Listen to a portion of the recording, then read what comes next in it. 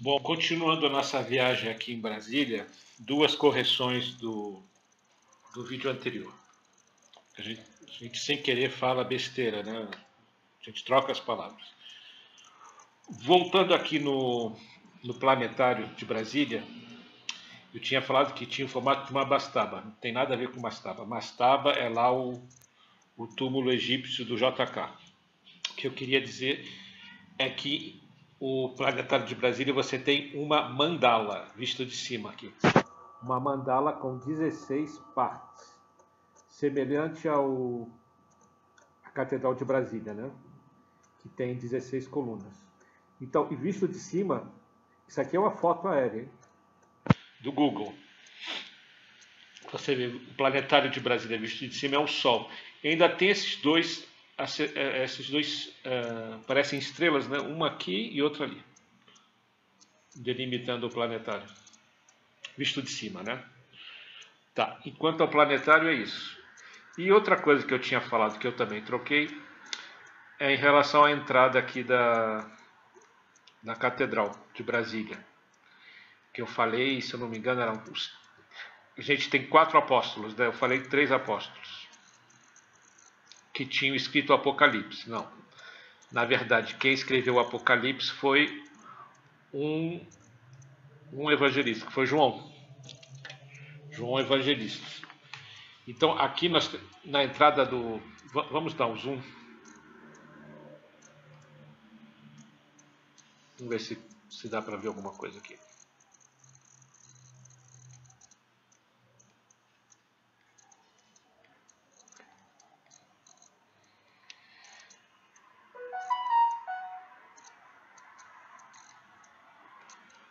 Então, nós temos aqui os quatro, quatro evangelistas. O primeiro é Lucas, o segundo é Marcos e o terceiro, Mateus. E o que escreveu Apocalipse é esse que está aqui à direita, que é o João Evangelista. E todos eles estão com pergaminho na mão, simbolizando as Sagradas Escrituras. Interessante que os, os, pássaros gostam de visitar, né? Também tem pombos em cima da, das estátuas. Então é isso. Agora, voltando ao, ao eixo monumental. Voltando e saindo dele, né? A gente vai lá para o Senado.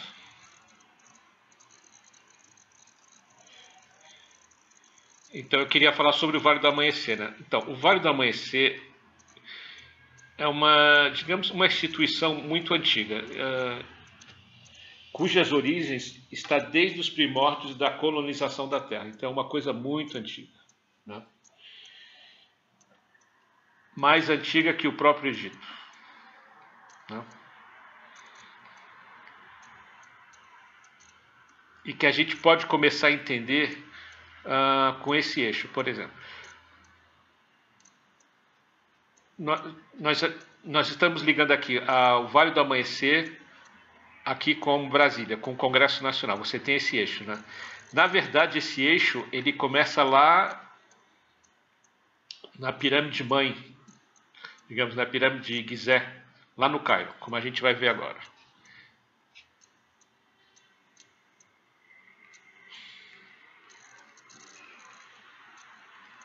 Vamos dar um pulo, tá vendo? Cruzamos o Atlântico e vamos lá no Cairo. Agora, o interessante das pirâmides, você vê que elas estão exatamente norte-sul, leste-oeste. E, esse, e partindo do eixo, nós, nós damos um pulo no vale. Vamos lá para o vale. Do vale, ele passa no, no lago sagrado aqui do Vale do Amanhecer onde você tem uma estrela de Davi, que na verdade é um símbolo mais antigo, né, que, que o rei Davi usava, mas é um símbolo mais antigo que, que o rei Davi. Nós temos a pirâmide do Vale do Amanhecer, que está junto aqui ao lago, que aqui é um grande é, centro de manipulador de força, como no Lago Titicaca, no místico Lago Titicaca. Né? que também tem uma das civilizações mais antigas do mundo, né? mais antigo que, que o Egito. Né? Então, aqui no Vale do Amanhecer, prolongando esse eixo que passa aqui, aqui na estrela de seis pontas, a estrela de seis pontas também é, significa a comunicação deste plano com outros planos, né? com planos superiores. É uma estrela apontando para cima e outra para baixo.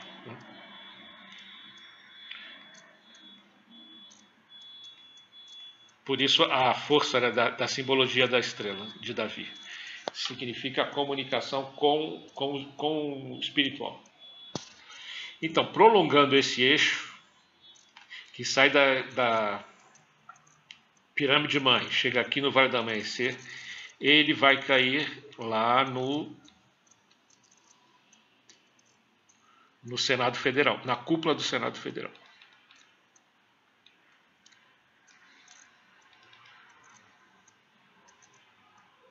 Cruza o Lago Paranoá e está aqui. Que a cúpula do Senado é a, a, é a que simboliza o Sol, se lembra? Essa aqui simboliza a Lua, que é a maior, que é a Câmara dos Deputados, e a cúpula menor é a do Senado, que simboliza o Sol. O Sol que irradia, né? Então, então essa simbologia desse eixo é como se esse corredor coletasse a energia da pirâmide lá de mãe do Cairo e trouxesse aqui para Brasília, fazendo essa conexão. Tá vendo? E o mais interessante é que prolongando esse eixo, nós vamos dar um ponto até meio desconhecido de Brasília, mas que tem uma simbologia, tanto é que ele está alinhado nesse eixo. Aí passamos aqui no Itamaraty, que é o, onde trata dos, das relações exteriores, quer dizer, tudo que está fora do, do Brasil, nas relações com os outros povos, é tratado no Itamaraty.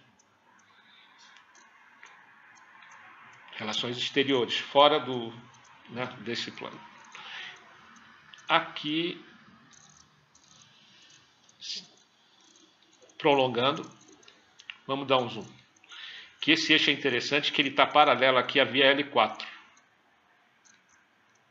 Tá vendo? Que é a via onde ficam as embaixadas, né? Esse setor aqui é de embaixadas. Desde aqui do, do Itamaraty até a entrada sul, é um setor de embaixadas. E nós temos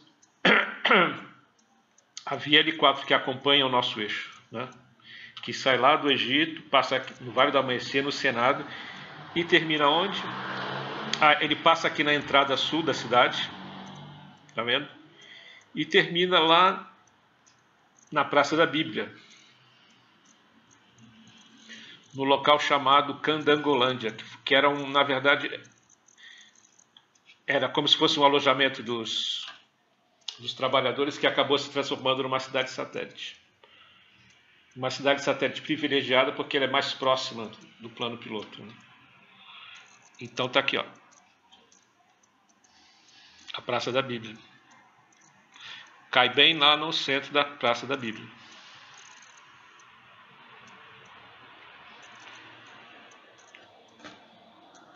Então, voltando lá no, no Vale do Amanhecer, só para terminar, que tinha que eu queria falar também sobre a profecia do Dom Bosco, né?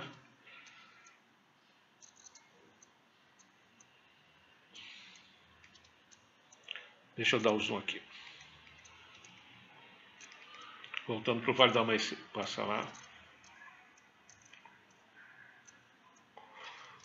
Então, o Vale do Amanhecer, o lago sagrado do Vale do Amanhecer, como eu, te, como eu tinha falado, a origem do Vale do Amanhecer está ligado ao, ao lago do Titicaca, que é uma das civilizações mais antigas. Infelizmente, essa parte mais antiga não existe mais, ela está submersa lá no lago. Se forem procurar, vão encontrar ah, os vestígios dessa grande civilização que teve lá no Lago Titicaca. A civilização que tem em volta é um resquício né, dessa grande civilização que, que teve. Como se fosse foi uma recolonização E o que restou foi, o, foi um resquício. Porque essas civilizações, essas primeiras civilizações, eram extraterrestres, né, que colonizaram o planeta e passou os seus conhecimentos para aqueles povos que viviam naquela região. E aqueles povos passaram a, a, a cultuar esses extraterrestres como deuses. Não tem aquele livro, eram os deuses astronautas, pois é isso mesmo. No caso aqui da América do Sul. Então, vamos lá no. dar um pulo no Lago Titicaca. E aqui você sai um paralelo. Aqui no Vale do, esse Lago do Vale da Maceta está na latitude 1540. Que é a mesma da, da profecia do, do, do, padre Dom Bosco, né? que, tá, que ele falava que uma grande civilização surgiria, onde formava um lago entre, entre a latitude 15 e 20, sendo que os, brasilienses, os brasilienses acham que é em Brasília, né?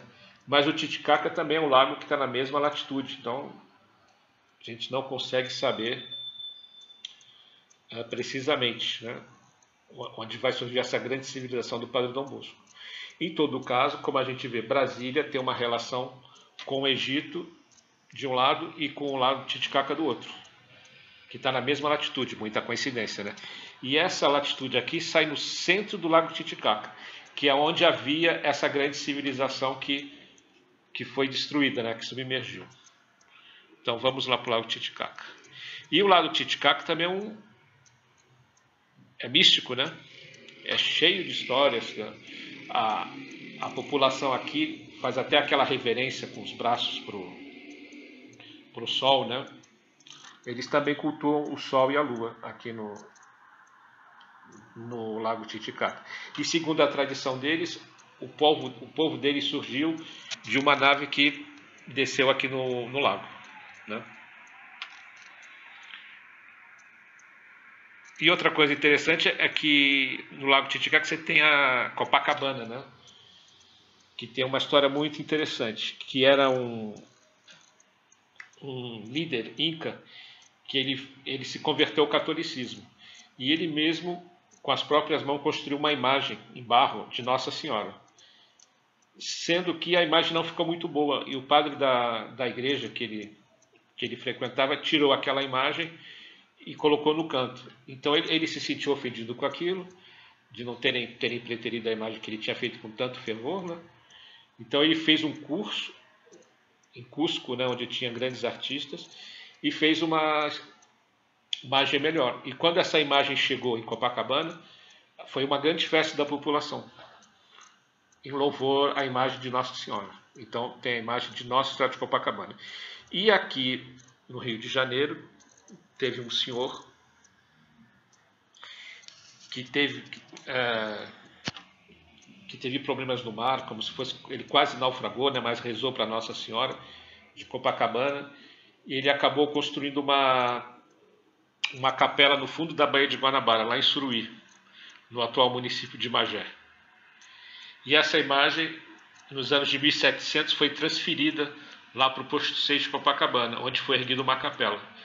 E essa capela fez muito sucesso, tanto é que deu nome ao bairro de Copacabana. Deu nome ao bairro e, a, e, a avenida, e o caminho que ligava a essa capela era a Avenida Nossa Senhora de Copacabana, que é a principal avenida de Copacabana. E, e, e criminosamente essa capela foi destruída né, pelos pelos republicanos quando construíram o, o, Forte de Copacabana, que não havia necessidade de destruir a, a capela. Né? O, você tinha espaço para construir o forte e manter a capela no lugar. Mas o Rio de Janeiro sofreu muito né, com, com o anticatolicismo. Né? Muitas igrejas foram demolidas, inclusive o próprio uh, sítio sagrado do Rio de Janeiro, que era o Morro do Castelo, né, como se fosse a Acrópole do Rio de Janeiro o sítio histórico, não só do, do Rio, mas do Brasil, né, foi, foi simplesmente arrasado. Né? Gastaram uma fortuna só para arrasar o Morro do Castelo. É como se em Atenas chegasse lá, arrasasse a Acrópole, né? Porque cada, né, era o significado para cada, para cada local, né? Mas assim caminha a humanidade, né? Então, Então é isso. Nós chegamos aqui no Lago Titicaca, que aqui é um lugar onde abre muito, já abre portais para outras histórias, né? Porque é um lago muito misterioso. Ah, e só para terminar, vamos lá no na Porta do Sol, aqui do que junto ao Lago Titicaca você tem a, a Porta do Sol, que era um em Tiwanaku, que era um recinto religioso, né? como, eu, como eu falei. Os, os extraterrestres tinham contato com os povos. Né? E em determinados locais. E tinham certas pessoas iniciadas, não era todo mundo que tinha contato com esses extras, eram os iniciados, né, que tinham a percepção de, saber, de entender o que estava acontecendo. Então, eles guardavam as escrituras, os objetos que tinha, os, os aprendizados que tinha com esses extras. E esses locais eram guardados em determinados uh, recintos. E esses recintos, como eram conhecimentos, é, eram uma, conhecimentos para eles considerados sagrados, porque esses, esses extraterrestres eram considerados deuses, então esses recintos passaram a ser considerados templos, onde eram cultuados esses contatos com os extraterrestres. Com o passar do tempo, uh, foi se perdendo o contato direto né, com os extras. E foi feito o contato interdimensional, que é como se fosse o mediunismo. Né? Porque esses extras já estavam na, em outra dimensão. Né? E aí passou a existir os templos e os contatos mediúnicos. Então a história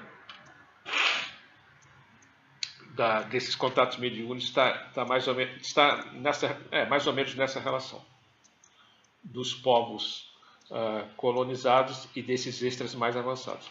E similar aconteceu também na Grécia, acontecia, acontecia em Atlântida, acontecia no Egito. Né? Porque muita gente não entende como é que aqueles povos tinham um conhecimento tão avançado para a época, que aí você pode entender. E esses extras não eram muitos, eram, eram pequenos grupos, né? que tinham essa missão de, de ajudar no desenvolvimento do, dos povos. E esses mesmos extras, se você for no Vale do Amanhecer, você vai ter contato com eles através de preto velhos, de outras entidades que eles se apresentam, né? Na, numa forma de humildade. Mas sempre que a, a missão principal é levar o Evangelho de Nosso Senhor Jesus Cristo para a evolução da humanidade. Agora, interessante aqui a gente vê esse, como, como lá na pirâmide mãe lá do, do, do Cairo, de José, esse portal, essa porta do sol de Tiwanaku, esse recinto templário, a porta está aqui, né? O templo também estava na posição leste-oeste, né? Aqui o eixo oeste-leste, né? Dá para ver aqui que está indicando norte. Então, por enquanto é só. Aí continuamos numa próxima oportunidade.